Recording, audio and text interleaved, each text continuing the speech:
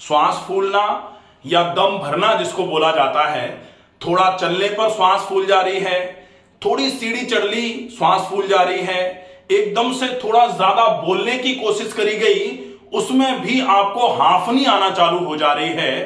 तो फिर ये क्यों हो रहे हैं? इसके कितने कारण होते हैं? आज हम देखेंगे कि श्वास जो फूलती है, ये बेसिकली किन कारणों की वजह से? श्वास फूलना। कारण कितने हैं? सबसे पहला कारण हो सकता है फेफड़े, क्योंकि फेफड़ों में अगर कोई दिक्कत होगी तो श्वास का काम भरने छोड़ने का काम तो फेफड़ों का ही है। तो अगर फेफड़ों में कोई दिक्कत होगी तो श्वास फूलेगी। दूसरे नंबर पर जो दिक्कत आती है, वो है पेट। पेट की वजह से भी श्वास फूलती है कभी कभी तो पेट क्यों वजह है, ये देखेंगे। तीसरी नंबर का कारण जो होता है, वो होता है हार्ट। कि अगर हार्ट में कोई प्रॉब्लम है तब भी श्वास फूलती है। जैसे कहा जाता है ना, जब L V E F heart थोड़ा कम काम कर रहा है, ऐसे समय में थोड़ा काम करने पर भी एकदम से दम उखड़ जाता है। और चौथा जो कारण होता है, वो होता है कमज़ोरी। अगर शरीर कमज़ोर है, ऐसे केस में भी श्वास भरना चालू हो जाती है। अब ये जो चार कारण हैं, इन चार कारणों की वजह से श्वास फूल रही है। अब हम चाहें कि कोई एक इलाज हमको इस सांस को फूलने से राहत दिला दे। ऐसा पॉसिबल नहीं है। एक सांस फूलने का और कारण होता है कि ये चारों ही मिल जाते हैं जिस कारण में, वो कारण है वज़न का बढ़ना। तो वज़न बढ़ना, या फिर जिसको ओबेसिटी बोला जा सकता है कि अगर कोई बहुत ओबीज है, साथ में थोड़ी कमज़ोरी है अंदर से तो फिर आपके फेफड़ों पर भी ज़ोर पड़ रहा है, पेट पर भी ज़ोर पड़ रहा है थोड़ा ज़ोर हार्ट पर भी आता है ओबेसिटी के केस में। और अगर ओबेसिटी ज़्यादा है खाना पीना पूरा खाया जा रहा है, व्यायाम कम किया जा रहा है तो शरीर धीरे धीरे करके कमज़ोर भी होता है। और फिर सीढ़ी चढ़ने में, थोड़ा चलने फिरने में या थोड़ा सा भारी काम करने में श्वास भरना चालू हो जाता है। तो ये सारे कारण हैं श्वास भरने के।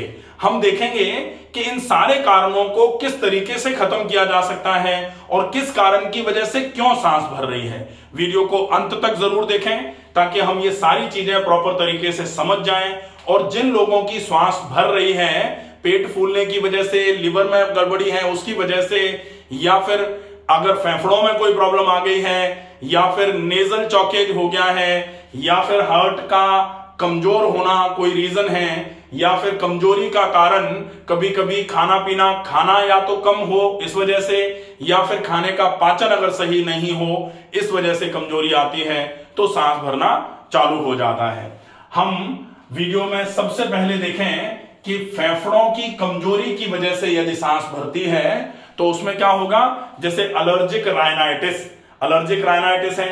कि जैसे ही धूल मिट्टी में गए, एकदम से सांस उखड़ जा रही है। मिट्टी थोड़ी सी भी नाक से होते हुए सांस के साथ गई, अंदर दम भर जा रहा है, सांस उखड़ जा रही है। इसको दमा भी बोला जाता है, लेकिन अलर्जिक अस्थमा कहा जाता है, क्योंकि अलर्जी यहाँ है प्रॉब्लम यहाँ से हो रही है, सांस भर रही है। फेफड़े लगभग लगभग ठीक होते हैं। जब भी अलर्जन की कांटेक्ट में आएगा इंसान, तब फिर ये वाली सांस भरना चालू होगी, क्योंकि फेफड़े वैसे ठीक हैं, लेकिन अलर्जिक ब्रोंकाइटिस की वजह से अलर्जिक राइनाइटिस की वजह से दिक्कतें आ जाती हैं। ठीक है? तो फेफड़े अगर अलर्जिक ब्रोंकाइटिस है, और ब्रोंकाइटिस जो है, वो क्या है? अलर्जिक अगर है अलर्जी की वजह से कोई अलर्जन धूल, मिट्टी, धुआँ, या फिर कोई स्पेसिफिक फ्रेग्रेंस या फिर पुरानी किताबों की, या पुराने कपड़ों की धूल, या पुराना कपड़ा कोई ऐसे करके सूंघ दिया तो उसकी वजह से एकदम दम उखड़ना चालू हो जाता है। अगर ऐसा है तो फेफड़ों की, या फिर श्वसन तंत्र की हाइपर सेंसिटिविटी बोला जा सकता है इसको, श्वसन तंत्र की। क्योंकि फेफड़ों की इसलिए नहीं बोल सकते कि ये जो है, ये तो नाक हो गई ये ट्रैकिया हो गई और ट्रैकिया के बाद इस तरीके से ये ऐसे करके फेफड़े होते हैं, ऐसे करके। अब ये जो फेफड़े हैं, इन फेफड़ों में अगर मान लो कोई दिक्कत नहीं है, केवल नाक ही अगर सही तरीके से खुली हुई नहीं है, उसकी वजह से दिक्कत आ रही है। तो यहाँ से ही सांस नहीं जा पा रही तो यहाँ अंदर जा ही नहीं रही है तो फिर सांस तो फूलेगी, भरेगी, क्योंकि ऑक्सीजन की डिमांड पूरी नहीं हो पा रही। तो कभी कभी नेजल चौकेज की वजह से भी सांस भरना चालू हो जाती है। इसलिए फेफड़ों की बजाय इसको श्वसन तंत्र की कमज़ोरी लिखा जा सकता है, जाना जा सकता है, समझा जा सकता है। दूसरा होता है पेट। ये है यहाँ फेफड़ों के नीचे डायफ्राम इस तरीके से, और इस डायफ्राम के नीचे यहाँ ऐसे करके ये जो जा रहा है आहार नाल, और यहाँ ऐसे करके बनता है आमाशय। और इधर ऐसे करके रहता है लिवर। ये। तो जो अब लिवर में मान लो फैटी लिवर हो रहा है, यहाँ गैस्ट्राइटिस हो रही है, पेट में गैस बन रही है, पेट की गैस जो है डायफ्राम को ऊपर की तरफ़ ऐसे करके दबाव मारेगी ऊपर, और ये जैसे जैसे फेफड़े दबते जाएँगे दबते जाएँगे तो इनमें सांस ज़्यादा नहीं भर पाएगी, जिसकी वजह से आपकी दम उखड़ना चालू हो जाती है। तो कहा जाता है पेट को नरम कराना, पेट को नरम रखना जो आपकी श्वास उखड़ रही है। एब्डोमिनल रीजन अगर है तो वो आपकी श्वास उखड़ना बंद हो जाएगी। जैसे जनरली आजकल क्या हो रहा है, सबके पेट इस तरीके से निकले हुए हैं। पेट निकला हुआ है तो आगे की तरफ़ तो निकला ही है, ऊपर की तरफ़ भी प्रेशर डाल रहा है। अगर ऊपर की तरफ़ प्रेशर डालेगा तो फेफड़े कंप्रोमाइज रहेंगे, दबे हुए रहेंगे, जिसकी वजह से श्वास भरना चालू हो जाती है, दम भरना चालू हो जाती है, थोड़ा चलेंगे, थोड़ा काम करेंगे, एकदम से श्वसन की दर जो है वो बढ़ जाती है, जिसको रेस्पिरेटरी रेट कहा जाता है ब्रीदिंग रेट जो है वो आपकी बढ़ जाती है। अब तीसरे नंबर पर देखा जाए ये हर्ट हर्ट क्या होता है? हर्ट यहाँ पर है, इस तरीके से। अब अगर हर्ट ने पूरे शरीर में खून की चाल को पूरे तरीके से नहीं पहुँचा पाया तो ऑक्सीजन फेफड़ों से खूब अच्छे मात्रा में आ गया। फेफड़े बिल्कुल बढ़िया तरीके से काम कर रहे हैं। पेट भी बिल्कुल नरम है, रुई की तरह मुलायम है। लेकिन अगर हार्ट में किसी वजह से कोई कारण बन गया हार्ट कमज़ोर हो गया, और कमज़ोर हार्ट की वजह से हार्ट पूरे शरीर में खून की चाल ही नहीं बना पा रहा है तो खून में खूब ऑक्सीजन बना रहे।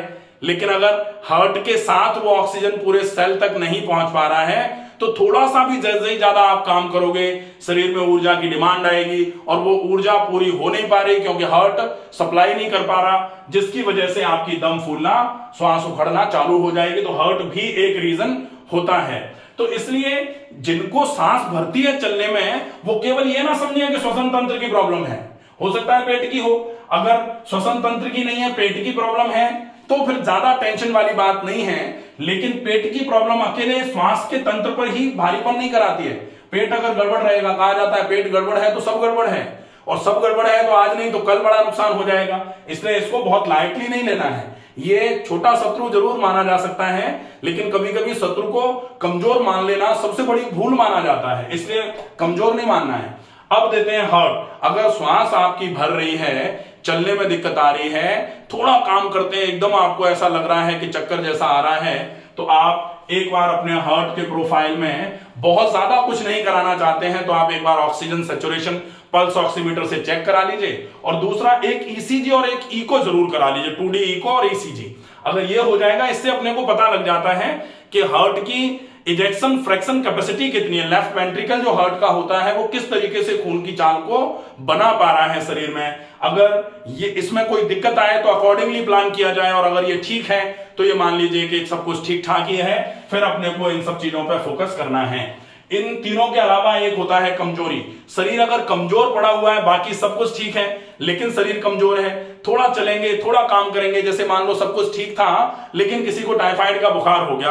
अब टाइफाइड के बुखार के बाद, पंद्रह दिन के बाद कोई उठा तो उसको चक्कर आ रहे हैं, बेचैनी हो रही है, घबराहट हो रही है, थोड़ा काम करने में उसकी सांस फूल जा रही है तो वो कारण कमज़ोरी भी एक कारण सांस फूलने का हो सकता है। और इन सबको मिलाकर के अगर वज़न ज़्यादा है तो निश्चित ही ज़्यादा वज़न जो है ना कहा जाता है ओबेसिटी अपने आप में कोई बीमारी नहीं है, लेकिन ओबेसिटी सब बीमारियों के लिए घर के जैसा है कि सारी बीमारियाँ ओबेस शरीर में कुछ भी आके रहेगा ओबेसिटी को कहीं कुछ करने की आवश्यकता ही नहीं है।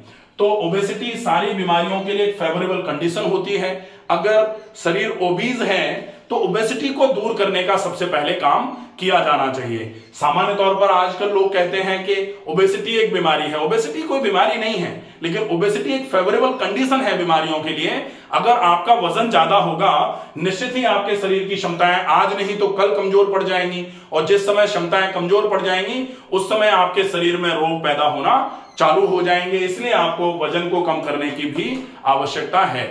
अगर आपको ये पूरा समझ में आया है तो हम देखें कि किस तरीके से इनके कारण अगर अपन समझ लेंगे कि ये कारण है, या ये कारण है, या ये कारण है, या फिर ये कारण है, या फिर ये सब मिलकर के कारण है तो फिर यहाँ हम श्वास के फूलने का अकॉर्डिंगली प्लान करेंगे। श्वास फूलना, फिर अब देखेंगे इसका ट्रीटमेंट कैसे कर सकते हो।